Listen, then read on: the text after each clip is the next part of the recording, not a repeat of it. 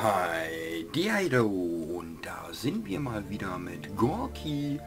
Ja, und ähm, jetzt haben wir die schöne große Schlacht doch geschafft.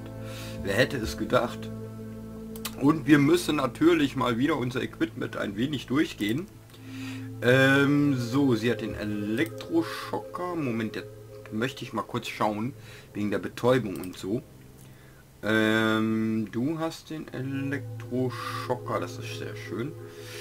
Äh, er hat noch zwei Schuss Pistole und er hat noch einen und er hat Pistole und Dings. Okay. Ist aber Schwachsinn irgendwo, ne? Oder? Achso, den, das hat er eigentlich, weil äh, vielleicht ja der Schocker mal aussetzen könnte. Aber ich glaube, ihm gebe ich lieber trotzdem einen Pfeil mehr. So, er hat noch 20 Muni an Gewehre. 18 an Pistole. Du hast 20 an Pistole noch. Äh, zeig mal her. Einer war ja ziemlich out of all. Na, eigentlich... Wo, wo ist eigentlich die Pistole hierzu? Äh, hallo? Du hast Munition, aber keine P Pistole. Moment. Ach nee, die hat sie in der Hand. Okay. Aber ich würde sagen, ich gebe ihm die mal. Dem lieben Trantinier. Weil, äh, sagen wir mal so, sein Schrot ist schon verbraucht. Ähm, ja, weswegen ich ja gesagt er bräuchte momentan auch keine äh, Nahkampfwaffe so an sich. Und sie benutze ich eigentlich hauptsächlich immer mit dem Baseballschläger oder eben mit dem Brechstangengedöns. Hat er hier eigentlich sowas in der Richtung? Nee, ne? Level 9, ja gut, das Bajonett bringt das eigentlich mehr 10. Zeig mal die Brechstange oder so her. 15, 15. Ja gut, es bringt mehr. Aber ich glaube, dass das ultimativste ist immer noch die Axt von Ovic. Und ansonsten, ja, er hier hat auch nur das Bajonette. Ich glaube, ich, ich kann ja eh nur eins von beiden verwenden. Dann gebe ich Trantinier vielleicht auch noch die Nahkampfwaffe. Orange hat das und er hat dieses. Hmm, oder ich lasse ihn nur noch schocken. Wäre ja auch eine Idee. Naja, gut. Äh, wäre eine Idee. Egal. So, dann schauen wir mal nach. Ähm, Bandagen etc. Pipapo. Sie hat noch Nahrung da. Er hat Nahrung. Äh, ja gut, alle haben Nahrung da. Sie hat fünf Pflaster. Er hat Reihe. Reihe.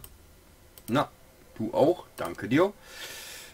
Und ähm, ja, dann haben wir noch diese Schmerztabletten. 10 HP. Na gut. Besser als nichts, ne? Hm, obwohl ich glaube... 50, ich weiß nicht. Aber das hatte ich ja extra so ein bisschen verteilt. Hm, warte mal. Ihm noch ein paar eine Bandage. Ihm noch eine. Weil das sieht mir so ein bisschen mager aus. Er hat auch nur eine. Kriegst du auch noch eine Bandage. So, und die Pflaster, ja gut. Äh, drei, drei, drei und sie hat auch fünf. Hm, ich glaube, Orbit kann noch zwei gebrauchen oder so. Schauen wir mal. So, aber egal. Ähm, ja, dann würde ich sagen, sind wir mit dem Museum soweit eigentlich durch. Ich hoffe, wir haben auch nichts irgendwie Großartiges vergessen oder so, aber wir haben ja hier überall eigentlich geguckt und geschaut. Äh, es gibt tausend Türen und Ausgänge und Pipapo, aber äh, ja, wir haben uns jetzt den Ausgang freigekämpft und sind nun draußen, würde ich sagen. Schauen wir hier hinten lang. Ich weiß nicht, vom Dach aus konnte man ja hier schon lang schauen, ob man hier irgendwas findet. Hier ist ein Tor. Kann man das öffnen? Tor am Museum. Ja, toll. Okay, äh, kann man das öffnen? Weil wir waren nämlich äh, ja beim Museum oben auf diesem Halbdach. Hier sehen wir auch diese Rundung davon, wo man ja ein wenig auf dieses Türchen gespoilert wird eigentlich, aber... Boah, So viel dazu, ne? Äh, das finde ich toll. Also da ist wohl nichts zu finden, zu erledigen, zu sonstiges. Entschuldigt, wenn ich ein bisschen heute viel husten sollte oder so oder räuspern etc. Weil ich war äh, die Tage jetzt ein bisschen arg krank auch. Ähm, klar, mit dem Vordrehen und allem. Ihr kriegt es ja auch nicht immer mit, wenn ich mal eine Woche erkältet bin. Wenn es dann doch länger dauert, dann äh, ja, kriegt das meistens mit, weil ich dann eine Art Infovideo oder so dann doch mache. Und auch auf meinem Zweitkanal dann meistens noch was wieder ist. So, Psst, Attention. Mir ist es hier entschieden zu ruhig. Sie scheinen diese Dämonen richtig zu vermissen. Als wenn wir nicht genug Ärger gehabt hätten. Ausschwärmen und wachsam bleiben. Mhm.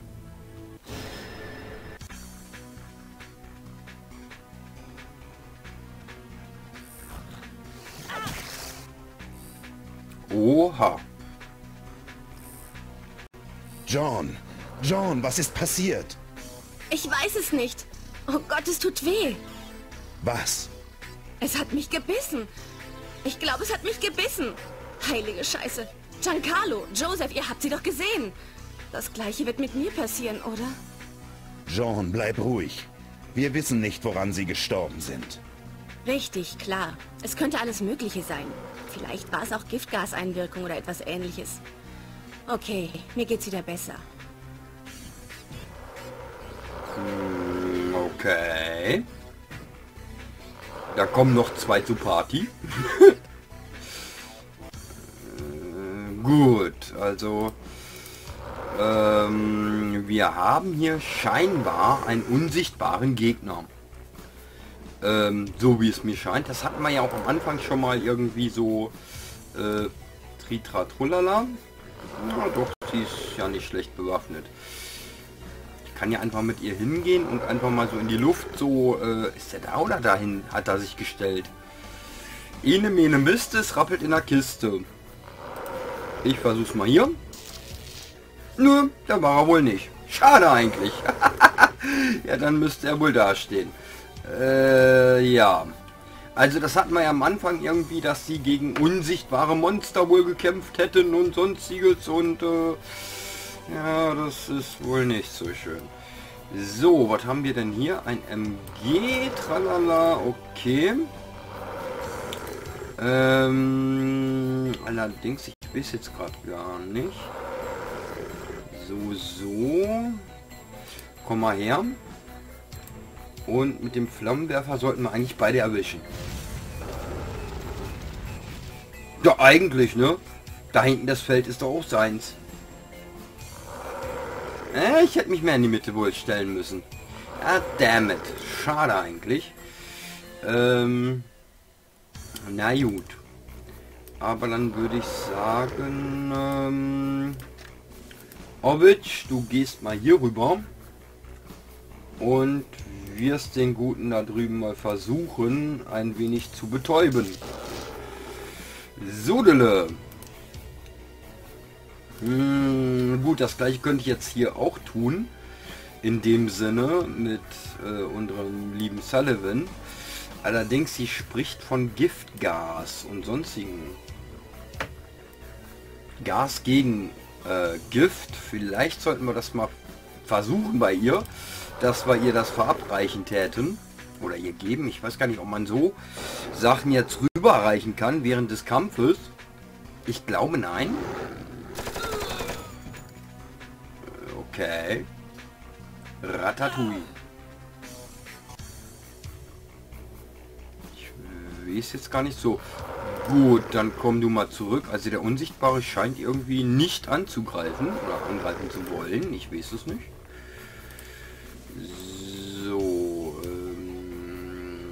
Vorab dir erstmal selbst ein Pflaster, das wird bestimmt gut tun.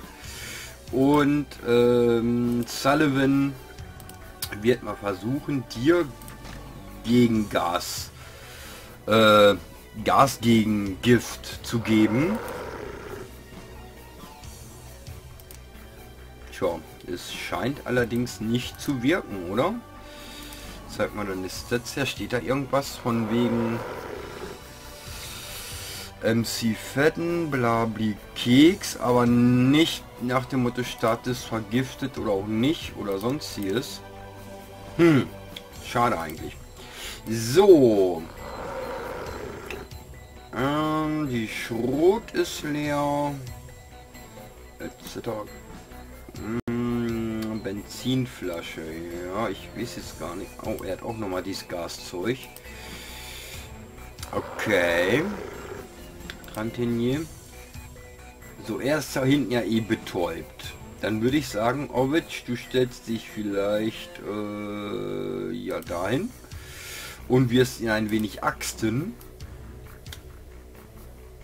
Lalala, da haben wir sie, die wunderbare gute Axt. Und hier wird ihm... Ach, er kann rumlaufen. Wie schön. Nö, du bleibst einfach jetzt mal stehen. So, äh, ihr seid durch soweit. er hat noch 16 Punkte, okay. Ähm, naja. Ist jetzt gar nicht, würde ich gerne mal gucken, kurz. 15 macht die Pistole. 15 macht das Brecheisen. Ja, ich glaube, bis auf das Schießgewehr werden wir ihn hier jetzt nicht umnieten können. Ich weiß gar nicht, das, das Benzinfläschchen, kann man damit jetzt den anderen vielleicht auch mit anzünden oder so? Ja, wir können es ja mal ausprobieren. Wir haben ja zwei davon. Wie das so wirkt. Also ihr könnt werfen, aber irgendwie scheint es nur ein Feld weit zu gehen. Ja, das ist schlecht. Ich dachte, es wäre vielleicht wieder Molotow oder so. Das war hätten vielleicht jetzt äh, ja das müssen weiter werfen können oder so. Hm, na gut, dann würde ich sagen, du ziehst ihm einfach einen über die Rübe. 5 plus 2. Na, das war ja wohl wirklich nicht äh, großartig. Eieieiei. Oh, er ist durch das Feuer gestorben. Sehr gut, sehr gut. Einer weniger. Und sie scheint mir auch nicht große Überlebenschancen zu haben. Vor allem dieses äh, vergiftet, das ist gar nicht gut. Na gut, du kommst auch mal hier rüber und wirst mal vielleicht was essen. Vielleicht hilft das was gegen Gift. naja, schauen wir mal. Ansonsten, ja, hier hat auch noch die schönen Gas-Gegenangriff-Dinger. Allerdings, ich befürchte, dass es einfach nur Verschwendung ist. Weil dieses vergiftet geht nicht weg. Es ist nicht gut. So, Orbit, du weißt deine Rolle. Immer Axten bitte. Und er ist nicht mehr betäubt, kann das sein? Das wäre nicht gut. Äh, von hier aus schießen treffen wir ihn nicht. Wenn von dort vielleicht aus. Mal schön mit dem Gewehre drauf und dann schauen wir mal, äh, wie das so zieht. Hm.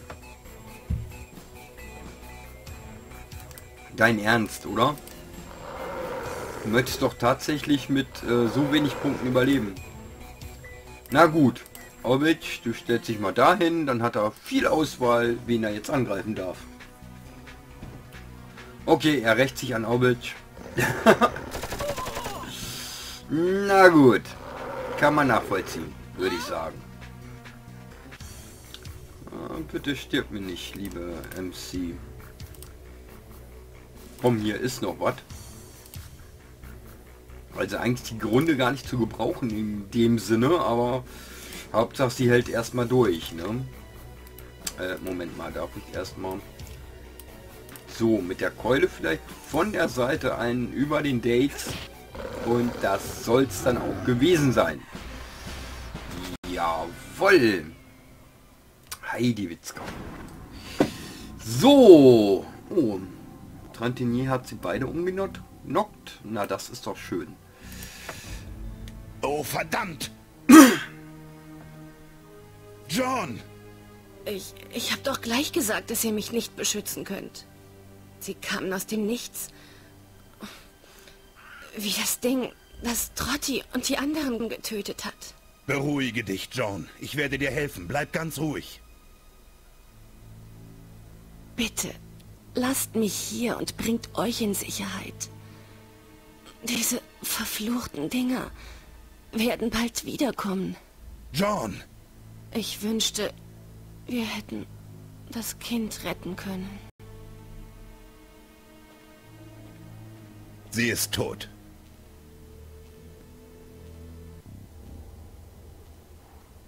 Mmh. Na super. Sowas liebe ich. Also man versucht ja eigentlich immer so in solchen Spielen die Leute zu retten, sofern sie zu retten sind. Aber ich glaube, das ist so programmiert, dass man sie gar nicht retten kann. Also wir haben ihr jetzt zweimal gegen Giftgas Gedöns gegeben und ich dachte mir schon, vielleicht ist es auch vergebene Liebesmüh. Und so ist es dann wohl auch leider. Und wie wir hier oben sehen, äh, dort ist sie ja gestorben. Oh, da oben ist die Kiste, wie schön. Äh, und sie hat sich von jetzt auf gleich in Luft aufgelöst. Also sprich, wir können jetzt nicht mal hingehen und irgendwie ihre Sachen nehmen oder irgendwas. Hm, das finde ich nicht schön.